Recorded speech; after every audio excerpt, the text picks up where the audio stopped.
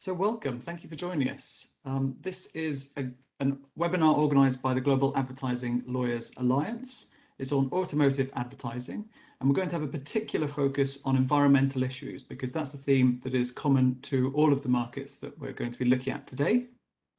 And the idea is to give you a general overview of the main risks and lookouts when you're considering running an international automotive advertising campaign.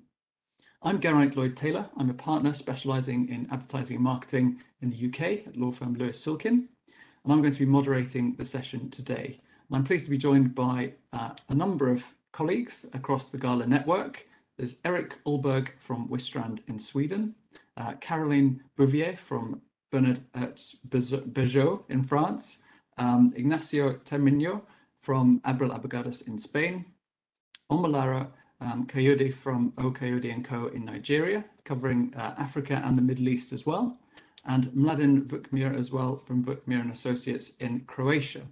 As I say, the session is being recorded and we're going to make the slides available afterwards. If you have any questions throughout this session, there is a Q&A box um, that you'll see on the right-hand side of your screen. And so feel free to make use of that and we will try to answer as many questions as we can.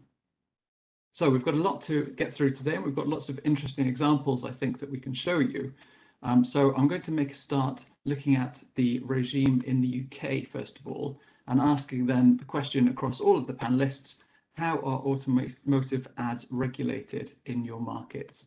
And don't worry, this is going to be a sort of one minute, very top line review across all of these markets. So in the UK, to kick things off, automotive advertising is governed by the same self-regulatory system that applies to all advertising, uh, which is enforced by the ASA, the Advertising Standards Authority.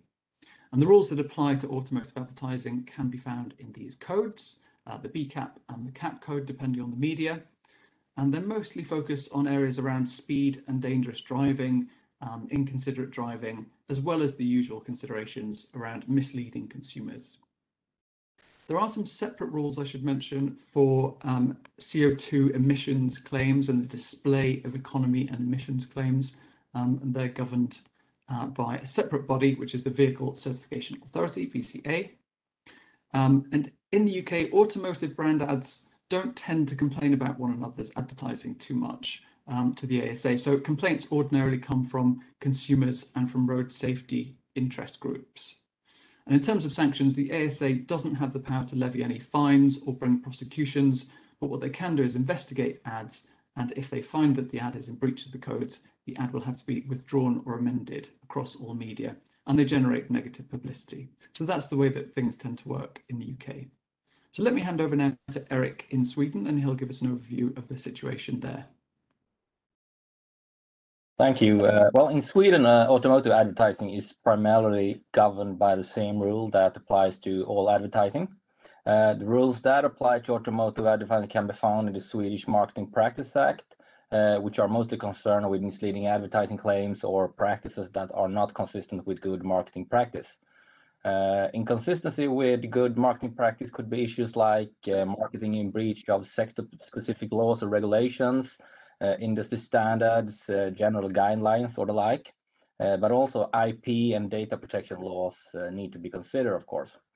the Marketing Practice Act is generally enforced by the consumer agency, uh, but also competitors and groups of consumers may bring uh, actions uh, before the courts.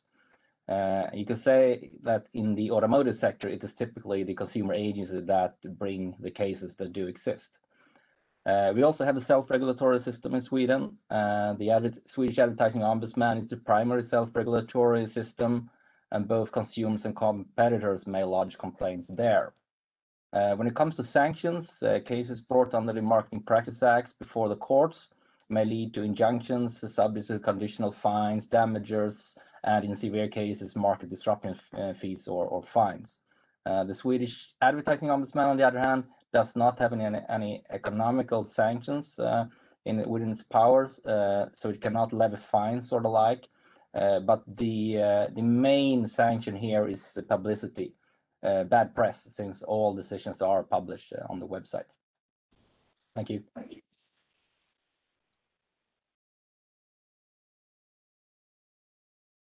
Oh, you're just muted. There we are, you're back. Sorry. Um, well, I said greetings from Croatia. This is literally a picture from the location where I'm speaking from. That's the island of Brač. Um, I wanted to say also that Croatia is an overregulated country which does not apply its regulations all that often because of the smaller size of its uh, economy. Uh, please, the, you can move the slides, please, uh, further on, uh, Geraint. Um, and Croatia uh, has a reason now to think about the future of its regulatory framework. You might have heard about this uh, launch of this car, the Nevera Rimac model. Please, next slide. Um, and uh, this is actually the Croatian reality nowadays. You see, this is shot in Croatia and uh, the car is here. So uh, we will need to think about the rules. Next slide, please.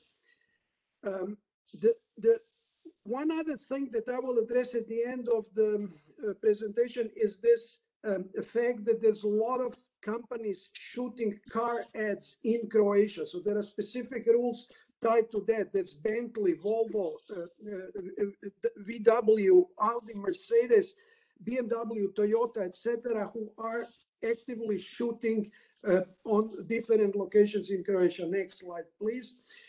Um, the, we have a strong uh, uh, legal framework, Act on Impermissible Advertising, Consumer Protection Act, Electronic Media Act. There's a very low level um, uh, self-regulatory just between the companies. So the Honest Practices Board uh, of HURA, the Croatian um, board is is is uh, also to be taken into account. And the last slide, please, Geraint, in this is uh, there is also criminal uh, penalties for false advertising. This obviously needs to be taken into account. It's regulated uh, by by by this um, uh, by the criminal act. There are few cases, though, as I as I have said initially. Thank you. Thank you. I'll hand over to Lara.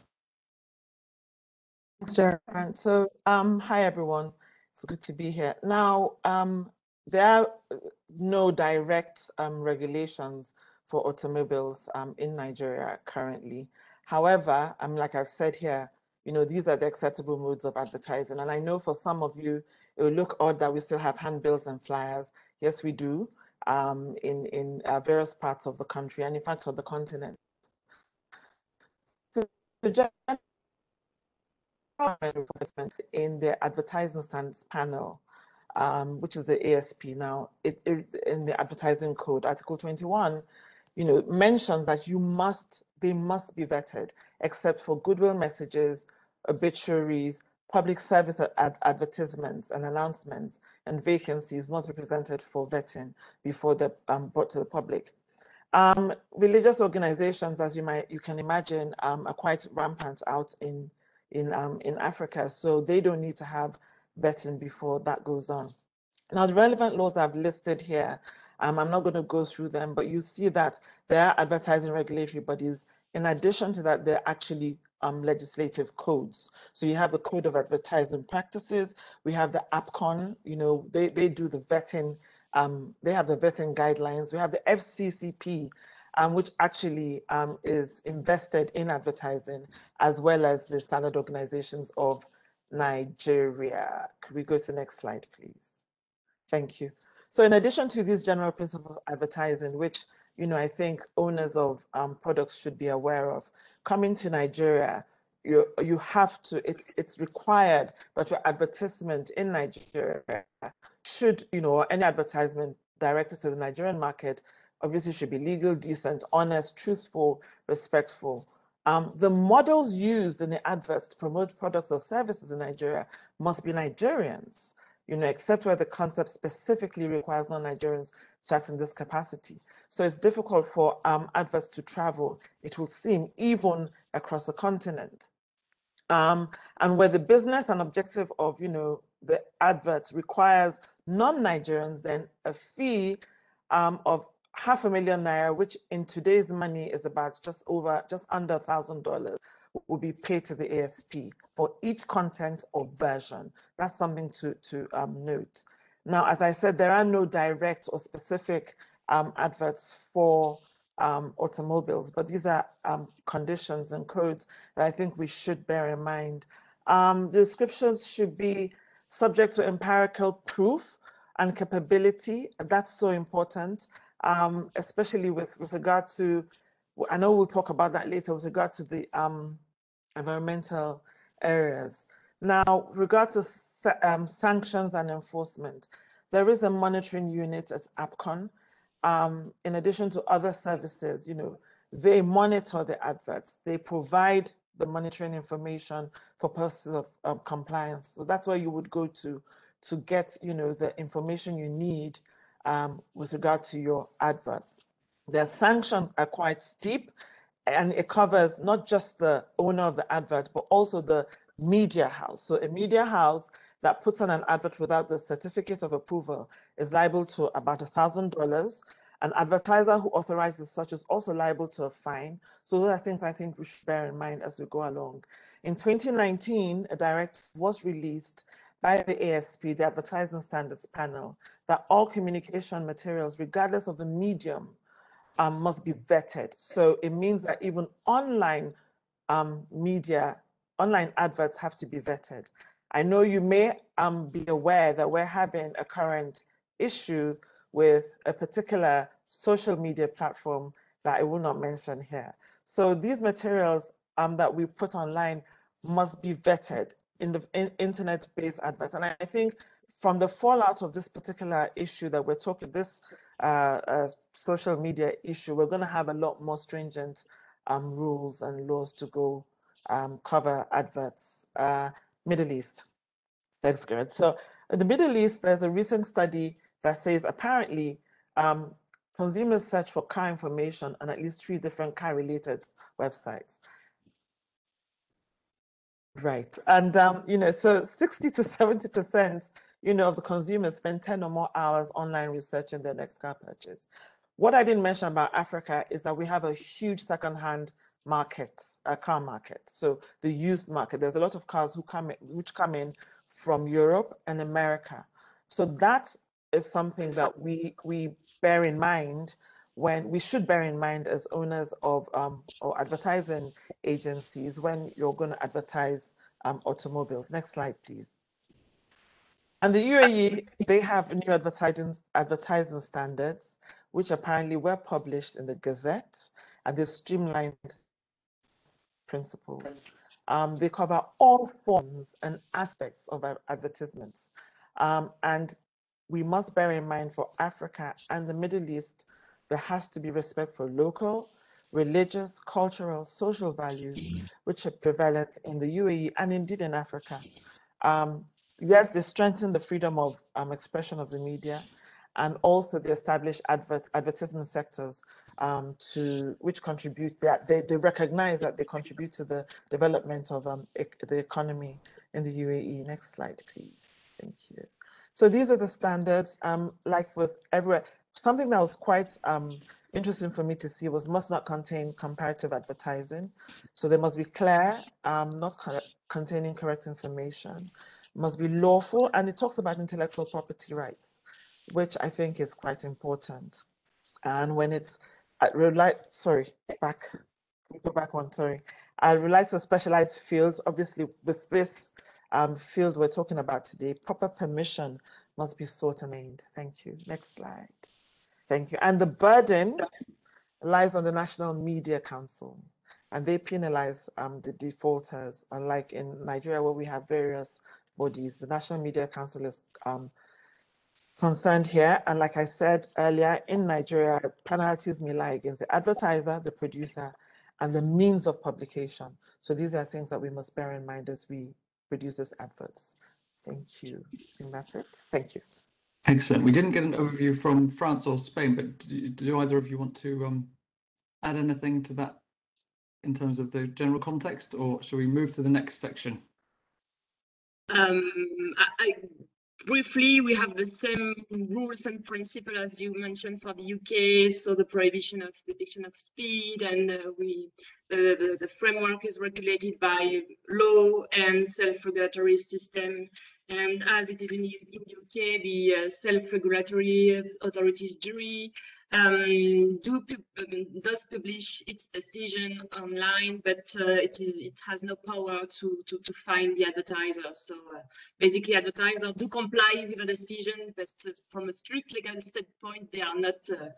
The decision may not be enforced uh, against an advertiser as a court uh, decision uh, would be. And we have the same rules concerning print and CO2 emissions. So I can be brief and, uh, that's it for France if you want to move forward, Gareth.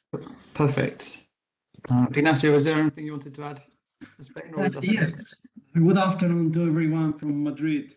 Uh, I just would like to add one uh, particularity of the Spanish legal system regarding the advertising applicable to automotive industries. And this is because we have uh, 17 regional governments in Spain in addition to the national government. And all the regional governments have competences on consumer protection.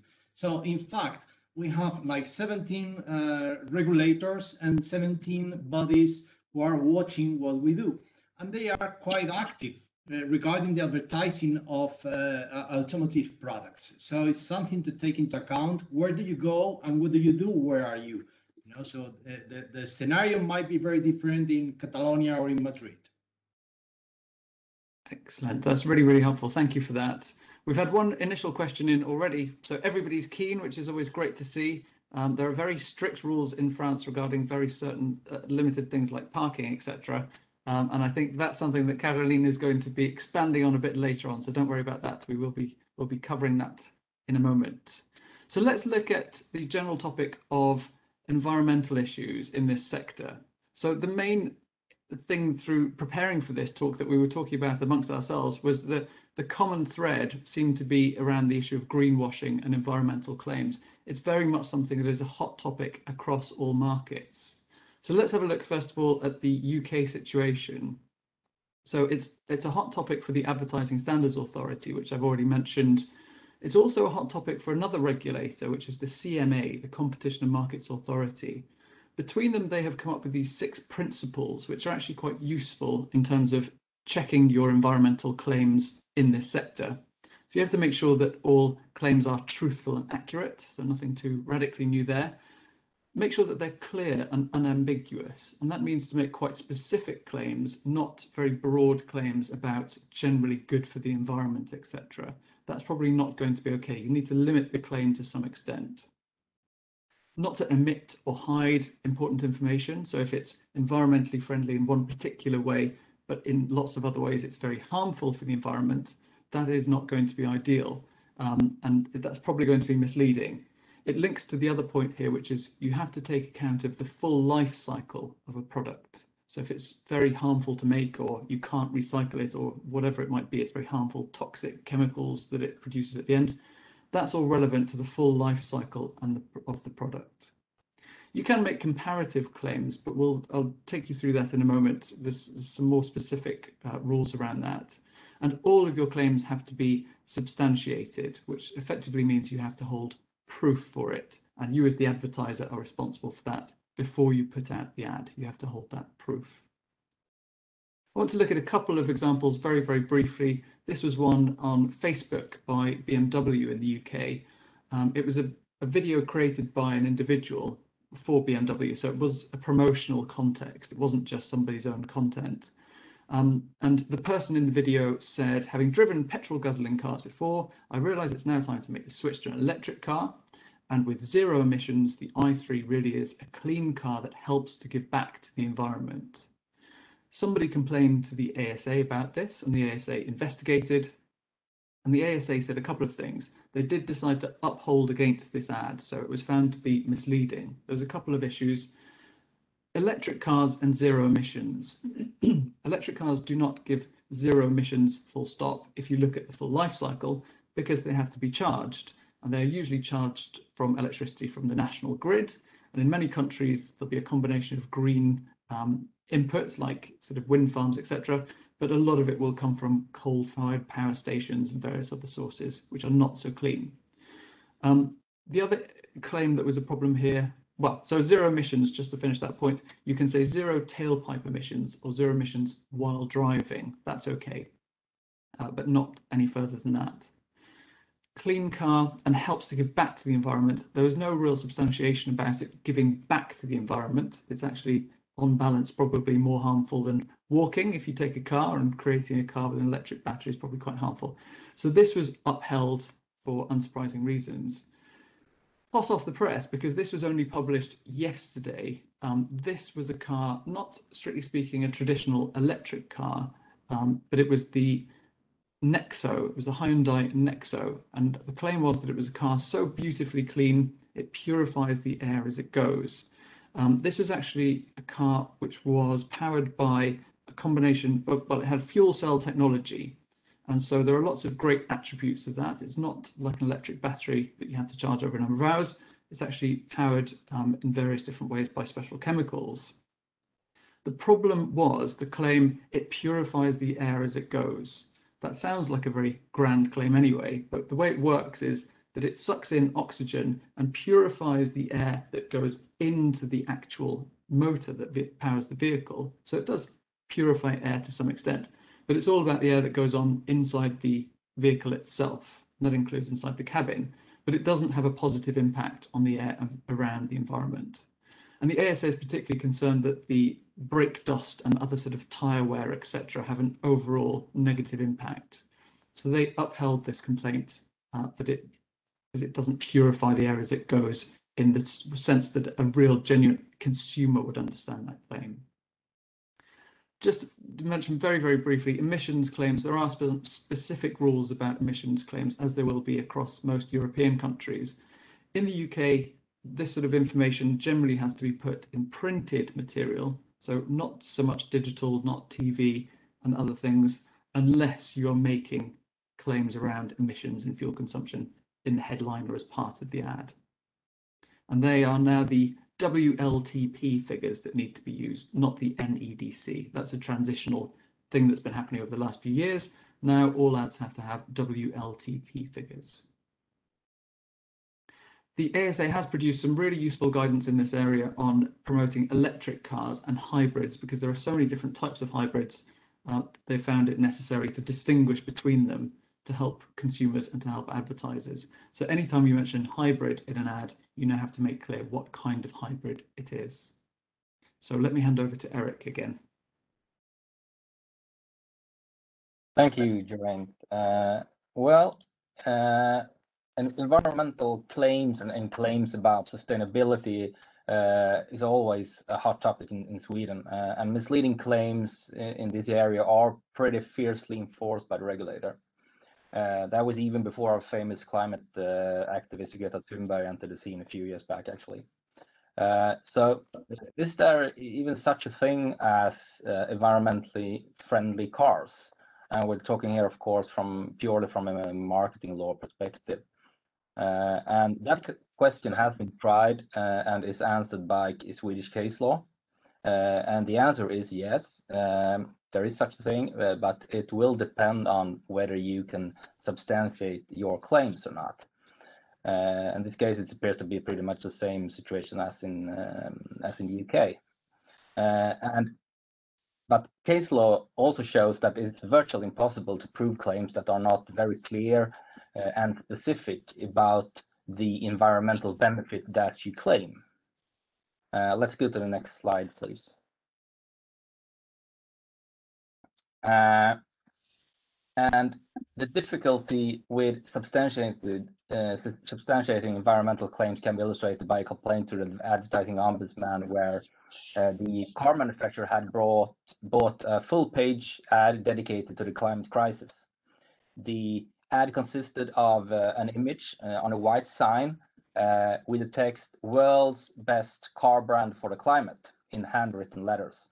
Uh, and in significantly smaller letters, the sign also stated, according to the Dow Jones Sustainability Index 2020, uh, in which the car manufacturer had been actually named the best car brand for the climate.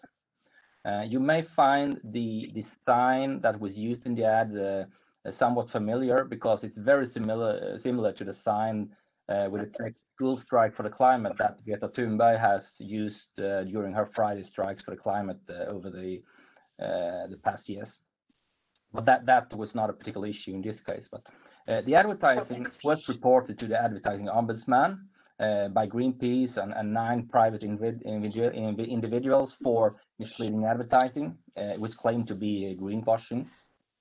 Uh, according to the uh, advertising uh, ombudsman, reference to the Dow Jones Sustainability Index did not constitute a specification of the claim, since the, the average consumer uh, does not have any knowledge uh, about the details of the Dow Jones Sustainability Index, such as which car manufacturers uh, were actually included uh, in the index, and even if they, to some extent, could be uh, familiar with the index as such.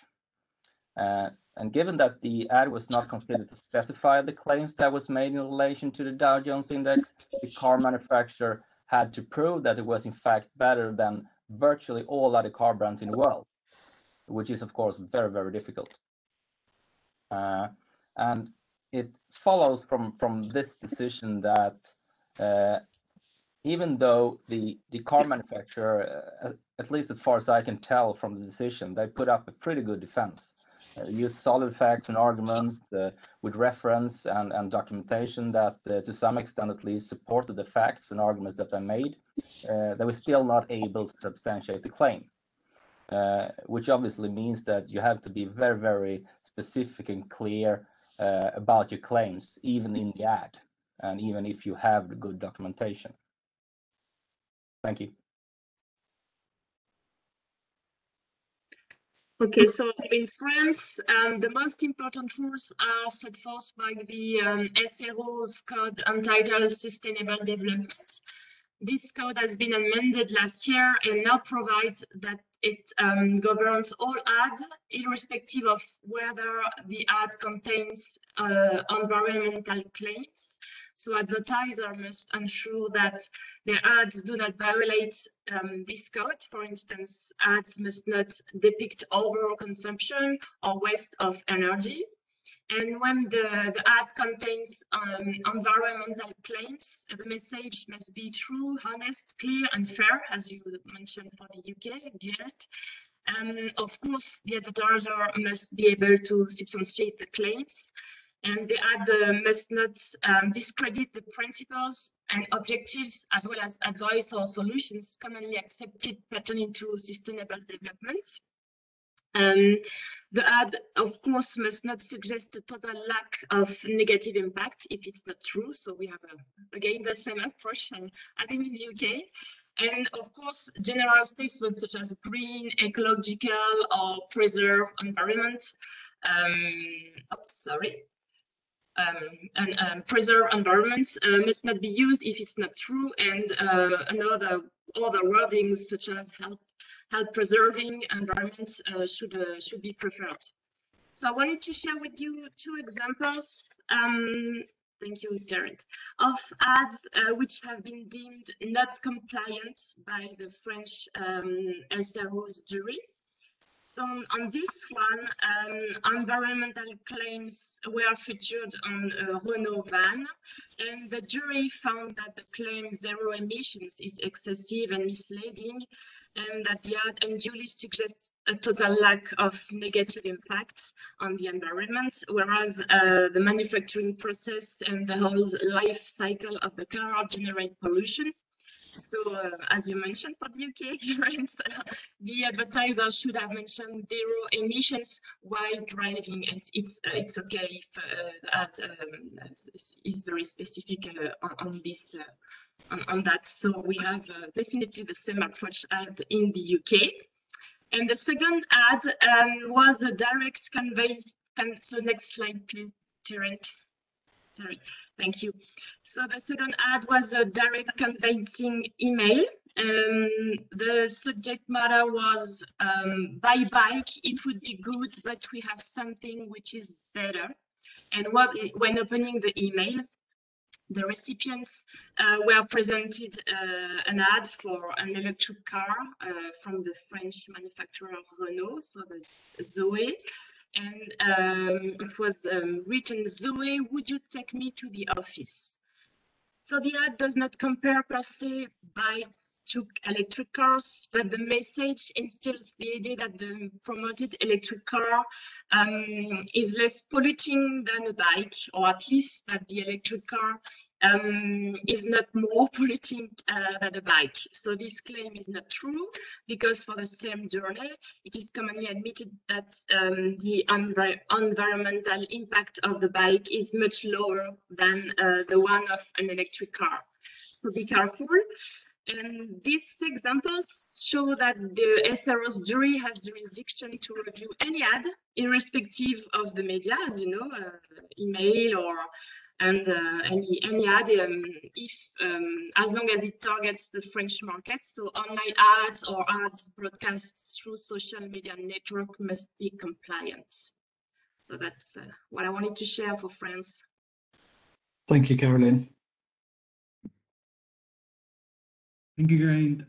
Well, the, the topic of the environmental claims is uh, still very hot in Spain but uh, already 12 years ago, we, we uh, were having this code as in France, which was the initiative of the energy and automobile industries. Nowadays, it's the only code that we have because we there is no official regulation, and we are applying this code also to other industries because it is becoming more and more uh, usual that all the kind of indus industries are using the greenwashing or the green uh, claims. And uh, most of the disputes are solved and decided by the self-regulatory authority, which is Autocontrol.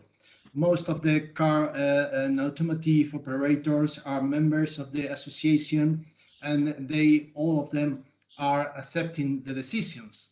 Uh, more than this, the government is supporting this way of, of uh, solving claims but uh, we are uh, looking forward to an official regulation uh, that they are talking about, and maybe next year we will have something more than a simple code and more applicable than to energy and mobile industries. Uh, I will show you some examples of the application of this code. Uh, for example, this was uh, mm, five, four five years ago, Volvo was making this advertising in trying to send the message that you can drive anywhere with your, your new SUV, uh, which is a very typical car uh, nowadays in Spain, all over Europe, I suppose. And uh, just trying to tell you that you can go even in front of the sea. Well, this was considered by the self-regulatory authority as a way to invite into damaging the nature. Uh, it's quite well subject to opinion, of course, but if First of all, it's forbidden to drive so close to the sea because uh, all coast and offshore areas in Spain are forbidden for cars, are public spaces, and you cannot drive there. So first of all, you are inviting to uh, the violation of a rule. But secondly, it could be an invitation to, to cause a damage to the to the nature. So the Volvo uh, move next year to, to the next slide to similar message, but this time the car is on the road.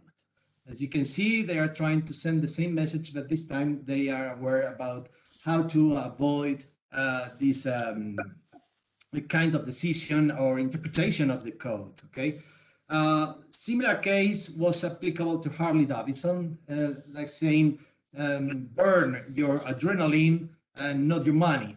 Uh, one particular was bringing this case uh, to the self-regulatory authority uh, because in his opinion, it was inviting to a very dangerous driving and also to create the danger into the public area where you're driving. Uh, well, this is subject to interpretation again, and in this case, the, the Autocontrol, the self-regulatory, reject the complaint. But on the next one, please, uh, the complaint was accepted. This was uh, one of the, of the first cases that uh, Honda had uh, when the code was uh, passed because they were saying that the motor was the engine was ecological just because a part of it was uh, electrical but not a full of it. So this was considered misleading because it was not full uh, uh, electric and was not full ecological as well. So uh, they are now taking much care about this kind of claims in, in spain. Thank you.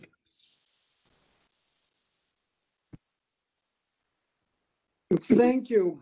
Uh, well, in Croatia, again, uh, there's not much uh, cases uh, to present, so I took a different rule.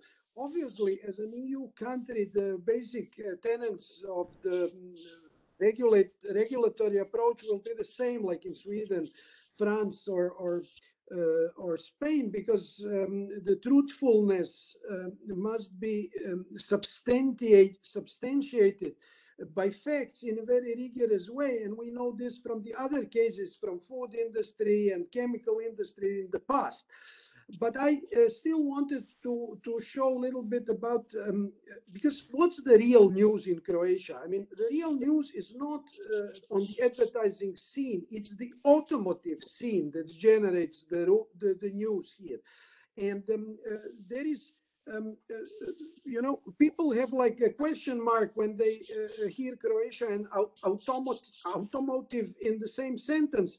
Unlike Slovakia, for instance, which had um, quite a lengthy history of car industry investments and uh, local production, Croatia did not.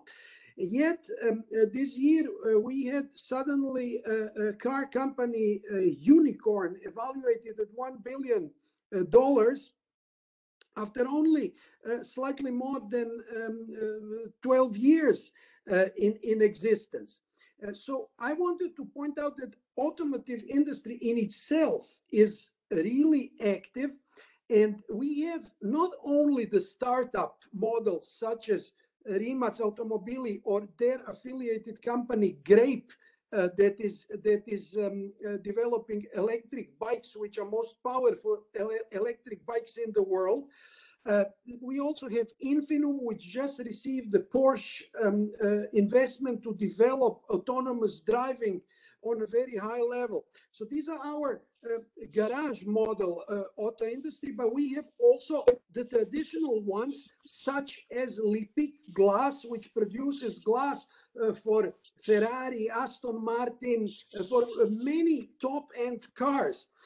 they are totally low profile, so they are ever, I, I wonder if they will ever go into any advertising trouble really uh, with, with their product because if you wouldn't be following what's going on in the automotive industry, you wouldn't know that they even exist. Yet they exist for, for decades. They are actually a privatized uh, company from the, uh, from the Yugoslav time. The same is with AD Plastik, and we can uh, go to the other slides uh, just to show a little bit about these two companies. Uh, here you see that um, Rimac uh, automobiles, the unicorn, which I mentioned and whose Nevera model I, I, I showed there, was uh, founded in 2009. In 2012, uh, they retooled this BMW, which became the fastest accelerating electric vehicle in the world. Now Rimac is again fastest accelerating vehicle period in the world. Um, in 2013, they came up with the concept one car, and I will show you something related to advertising just uh, very soon. But um, uh, now, this year, they launched um, Nevera, which is a production model of the um, concept two uh, which was uh, which was um, which was introduced in 2018. Over the next three years, they will produce 150 models at 2 million, 2.1 million euro each. Uh, and um, they are selling briskly. They already sold the first year's production, and they were offered. Uh, this is also hot off the press. Uh, they they were offered and introduced a week ago. So regarding environmental issues, um, I mean, Mate Rimac, the, the founder, is, is, is, is a vegetarian or vegan. Uh, so he, he, he speaks about his own convictions, you know, and projects them on the company. Um, the, the company campus, which is here, uh, this is a render, they, they just started building it. Um, is and we can go to the next slide um, uh, uh, this is this is this is um, this is going to be a totally green environment you know uh, so is there anything to assess in terms of advertising not really in my opinion it is more of a pr a general values uh, with no claims attached. Uh, so, so, so we will see how will this develop. Just wanted to show uh, that this company had the crisis management case study. It is quite interesting. Uh, one of the two million cars, that was the C2, um, driven by Richard Hammond, a British journalist, um, uh, went off the road uh, on, on a hill climb in Switzerland. And then they introduced in advertising um, the picture of the fire extinguisher with the words, um, uh, uh, uh in the case of hill climb, extinguish fire, um, which was kind of a humorous way um, to, to, to sell it. That model, C2, was not for sale. Yet they sold after this and, and how they managed the crisis. In a week, they sold three of, so they made three more just for sale. Okay, let's let's go let's go further. AD Plastik. Obviously, we have plastics here. So how do you how do you manage, you know, as a plastic industry to look green without greenwashing? And this company, that's a big company. They have um, they are multinational essentially. They have um, uh, production sites in five different countries and produce for you know half of the European auto industry. Uh, go to the next slide. And they, for instance, uh, project their um, uh, company through um, different awards, which is then obviously objective. People are not checking really uh, whether a Deloitte Green Frog Award is um, uh, credible or not. But this company really then communicates uh, that they make uh, classical um, fuel cars lighter, therefore making them consume less, and that they actually um, use recycled materials and that they their products are recyclable and so on. So it is again more of a PR than uh, real advertising, which they are using. Yet um, uh, in, in light also of stringency of uh, European, uh, of Croatian regulations, um, you know, you, you shouldn't be easy with, with, with your claims. So, so it is strict it is likely to be uh, applied stringently to, to the offenders, but the local companies are doing this kind of a soft uh, claims around which are not, uh, which have not been yet subject to verification. Thank you. Thank you. Thank you, Mladen. And Lara will take us through Africa and the Middle East. Okay, so I'll I'll run through quickly. Um, what I, I really gathered uh, with regard to environmental considerations was that um, the one thing, at least in Africa, across even our colleagues um, on the GALA network, the one feedback that I got back um, uniformly, uniform in in uniform, um, was that we have a huge um, influx of um, secondhand cars. So clearly, cars that are done and done with um, somewhere else in the world end up pretty much, I think, on this part, or you know, on the on the continent. That doesn't mean that you know they should there are no regulations, um, so to say. I think it's really a case of enforcement and um, uh, more monitoring, if, if, you, if you ask me. For instance, for Nigeria, we do have regulations and guidelines um, that have been passed to control pollution, hazardous wastes, and effluents. You know, in Nigeria, we've signed on to pretty much every convention, international treaty and convention um, that's relevant to the environment. Um, the legislations do exist, you know, to ta tackle real life situations. So we have laws that um, or regulations that ban, you know, huge trucks that are emitting toxic fumes, which you will find in in most cities or outback cities um, on the continent. So there are rules that that govern that. Um, I'm sure nobody, no manufacturer wakes up and thinks, you know, I'm going to put that up as an advert. But if that comes up, I don't think we should think that um, Africa is um, uh, a continent where we can dump, you know, what doesn't work anymore and not get um, into uh, a bit of a fix. So the guidelines and standards for um, environmental pollution control, you know, we, we um, there are effluent limitations um, the compulsory installations of anti-pollution equipment.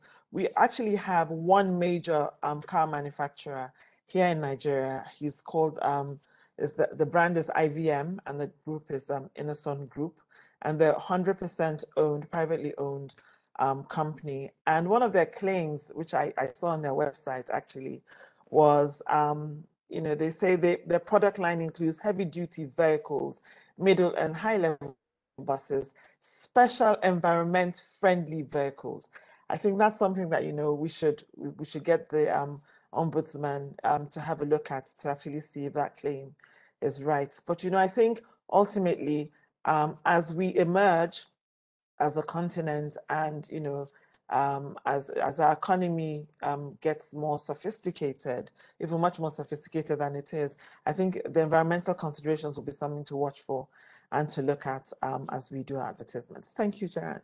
That's great. Thank you very much. Really interesting to see um, the developing situation in all of these different countries and how environmental is obviously a hot topic um, across the board um, and that there are so many similarities. I wanted to give an opportunity to just flag any other sort of significant hot topics that are in particular markets.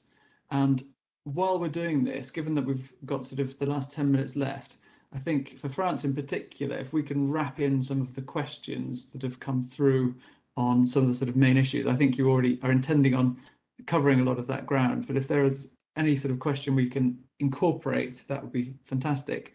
And anybody else who wants to ask any questions, feel free um, and we can incorporate that as we go. The only thing I wanted to mention in the UK in terms of um, interesting hot topics is that of comparative claims. And it comes back to this point of are you comparing, in the old world, it used to be quite easy. You'd compare a petrol or diesel car to a petrol or diesel car. Now, are you comparing the right kind of hybrid to the right kind of hybrid? And there are all sorts of different nuances now that need to be thought about especially if you're naming competitors, identifying competitors, obviously, and if you're making these broad green claims, as we've seen, there's a focus, a regulatory focus on those. Um, should we ask Wistrand just to sort of, uh, from Sweden, just to have a look at um, a couple of interesting examples there, and then we'll come on to France when we can. Yes, thank you. Uh, well, in, in uh, besides environmental claims, uh, when it comes to automotive, uh, advertising, we have you have to also consider the uh, the principle of unlawfulness, uh, which is a well well established under Swedish marketing law, and the principle establishes that uh, marketing act activities must be lawful, meaning that such activities must not violate another law, as it will not be considered consistent with good marketing practices to expose consumers to unlawful activities uh, or mislead them to conduct unlawful activity, uh, activities themselves. And uh, of particular interest here is that Sweden has an overall ban on off-road uh, driving on bare snow-free ground. Uh, and this sometimes causes a challenge for car manufacturers that, who wants to showcase their cars in, in more uh, extreme environments or or illustrate off-road capacity or or similar. Uh, and, and, one car manufacturer experienced that quite recently when a number of ads were challenged and considered not to be consistent with good marketing practices because they were considered to give the impression of cars being driven in, in off-road terrain. Uh, and you can see uh, some examples of the banned ads on the slide. Uh, and one where a car seems to be driven in in, uh, in terrain and some water or river or similar, or one in the desert. Uh, uh, even if we don't have deserts in in, in Sweden, um, uh, that uh, would if if there were, there would be forbidden to drive there, and also cloud of dust. But still, in, in one case here, just to show the, the comparison between what is lawful and not, there is one ad where uh, which where the car is shown in the terrain, uh, but on a road, uh, and that's the reason why it was cleared. So this essentially shows that in Sweden you must not only consider which claims or, or the statement that you use in advertising, but also which photos and, and images that you uh, that you put to use in the ad. Thank you, Erik. That's really interesting um, and common to France as well, I suspect. Caroline can tell us a bit more. Yes, just to, to be short, we have the same rule in France uh, because motor vehicles uh, must not be shown off-road. And they must not be shown parked on a natural space either, so on sand or on grass. And they must not um, be, show, um, be shown um, in a violation of road co code. And I wanted to share with you the, this recent decision um, from the French SRO's jury. Um, this hat has been um, deemed not compliant with the SRO's codes, in particular automotive, automotive codes, which sets for that uh, you must not show um, car uh, which violates road code. And this um, has been shot in Marseille in an, uh, on an area dedicated to pedestrians. And the jury took into account the fact that the ad is broadcast over the internet and can be uh, viewed by people who may recognize that this is a famous location in Marseille dedicated to pedestrians. So the uh, French SRO rejected the argument of the advertiser, which consisted in saying that there are pedestrians on the left side of, of the image walking on the pavement, which is clearly separated from the paved road so that it appears to be um, a road open to the traffic. But this argument has been rejected because people may know that it is a road uh, open to pedestrians only. And the fact that the advertiser, advertiser has been granted the right to shoot here from the uh, town hall has been deemed um, irrelevant too. So I found that this decision is very strict. So be careful if you uh, shoot an ad in a famous location, if there, is, if there is a risk that people know that it is not a road open to the traffic, your ad uh, could be deemed uh, not compliant. Sure, and that goes for parking spaces as well, doesn't it? I think that's an issue that comes up a lot. You need to be parked Yeah. somewhere that's efficiently Yeah, yeah, like yeah, yeah, definitely. Yeah, you you must uh, add a, a parking sign or be the situation look like a parking, otherwise uh, your ad uh, may be deemed uh, violating uh, SRO's codes too. So be be careful. So difficult in Sweden and France to show off-road cars off-roading and sporty cars being sporty across Europe as well, I have to say. So Yeah. is that is that true of other markets? So let's be creative. Exactly. We need to be creative to get around these issues. Absolutely. Ignacio. Yes, thank you. Finally, I wanted to bring a couple of examples of uh, the hot topics that the car manufacturers are facing in Spain at this moment. Most of the uh, disputes are uh, focusing on pricing information uh, because it is usual, uh, and I think that all of us were used to see uh, always a, a very competitive price that we know we have to read the small letters and the, the additional information. But uh, the um, consumer authorities are being very strict and day by day more. And we, for example, we lost this case of Astra representing um, Opel in Spain. And uh, it's a public case, so I can mention it because some colleagues have already told me to, because other um, clients of law firms are uh, facing similar problems. And it's uh, because sometimes the price appearing uh, is the price that you pay when you get an official finance. So when you get a loan, if you don't get a loan at the time of uh, purchasing the car, you don't get that price ever. Obviously, then the price is much higher because then you have to add the interest that you pay. Uh, but this is a different product, not the uh, the car price. So we have been defending that they are two different products and that the information is still truth, although it might not be complete until you go into the small letter. But despite of that, some sanctions are coming, and the latest one is for Renault, which is the my final slide. Uh, this is not an official sanction; it was just a, a jury opinion from Autocontrol, where they said that Renault for 199 per month is not the truthful and complete information because you have to pay also an entrance fee and um, also the interest in addition to that. So uh, everyone should watch always now in Spain the pricing information when going into into the market. Thank you very much. Thank you. Very, very interesting. And can I ask, um, we've got another two minutes or so to go. So let's let's whip through these final sort of points if we can.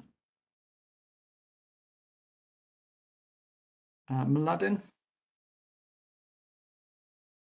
Or Sorry, Lara? I, I, I have set uh, the unmute to automatic, but it doesn't. but it No problem. So sorry about that. So um, uh, you know, I will I will address something that comes into the the legality of what you make, not of the content, because so many of the car adverts are now shot in Croatia that I just wanted to draw attention to the local requirements for shooting.